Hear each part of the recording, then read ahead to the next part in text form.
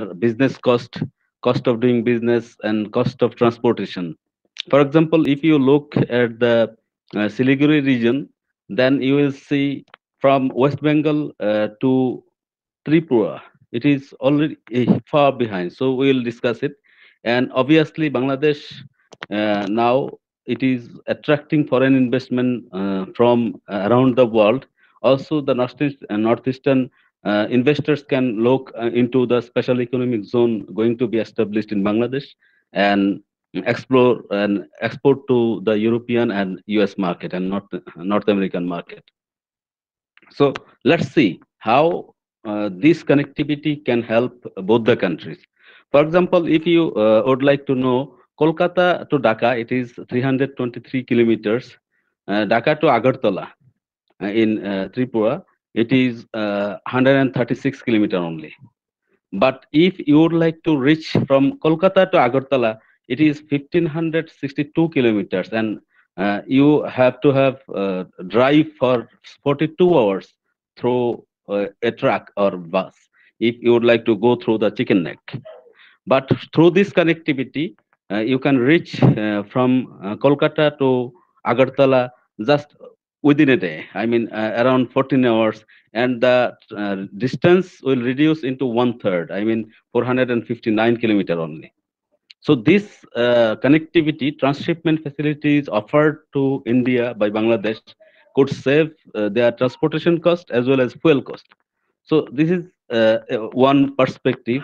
Another one uh, perspective is uh, from uh, West Bengal to Assam. If you would like to reach, then obviously from Kolkata to Guwahati, it is uh, Kolkata to Guwahati it is 100, 1025 kilometers, almost 25 hours journey.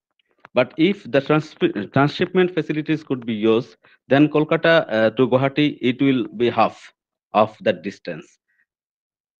And, and the time will be to 21st hour. So these uh, types of uh, transshipment facilities uh, could be used by the I mean, Northeastern entrepreneurs, business person, and they are also allowed to use uh, Chittagong port, also Mongla port.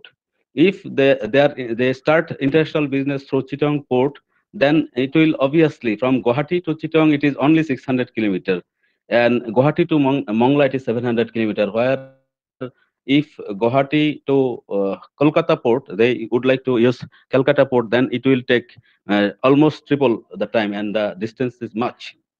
So from connectivity perspective, uh, not only uh, roads connectivity or sea connectivity or air connectivity, would like to see the connectivity from physical connectivity, obviously transport, ITC, energy, these types of sea, air and land, road and railway connectivity. But also we need institutional connectivity which was discussing by His Excellency from Meghalaya, Mr. Kakon, and, and that uh, trade liberalization and trade facilitation is required there. Uh, only parliamentary members uh, meet is not enough to proceed something. Uh, I would uh, like to uh, request His Excellency to include a business delegation in that talk without actual business person uh, person business to business communication nothing will be happen at, the end of the day. Because uh, parliamentarian i mean policymakers will not uh, involve i will not do business. So include business person include medias include st other stakeholders as well in uh, if you would like to uh, make it effective the gathering effective. Then uh, our connectivity through investment and service liberalization is needed for example in bangladesh uh, India has a recent, uh, I mean, uh, notice that only people from neighboring state has to have prior approval to have investment. There is a, a van, I mean, there is a VAT to invest in India by Bangladeshi companies. So if you would like, you don't like to be economically integrated, how this uh, connectivity will work out. Uh, so you have to look after this also, mutual recognition is another important uh, issue. Uh, if Bangladeshi BSTI, Bangladesh Standard and Testing Laboratory, uh, certifies something that it is safe, then obviously Indian counterpart or other neighboring state has to uh, has recognized it. Otherwise, these types of only testing recognition will take much time and international trade being uh, deferred. I mean, it will uh, cost of doing business, international business will be higher. So in such case, regional transportation agreement also needed. We have agreement with India uh, for road, sea, air connectivity, but to utilize it fully, we have to have uh, develop the logistics facility, required logistic facility. For example, if you would like to use Bangladeshi, uh, I mean riverine, so you have to have also considered the uh, dredging cost. You have to have uh, considered the dredging cost. Otherwise, how uh, uh, if the river riverways are not uh, navigatable, so how they can use it? So cross-border uh, production also uh, possible, but we have to ha have come up with open mind to uh, facilitate trade, to to harmonize trade, and also remove the barriers from of trade between the two neighboring friendly countries. And people-to-people connectivity is very important. Uh, Mr. Kakun was mentioning that uh, education, cultural exchange is there. Uh, tourism, yes, northeastern state. I visited Guwahati last year, and I found tea states, the hill hilly region, and the I mean lakes, lots lots of natural beauties over there.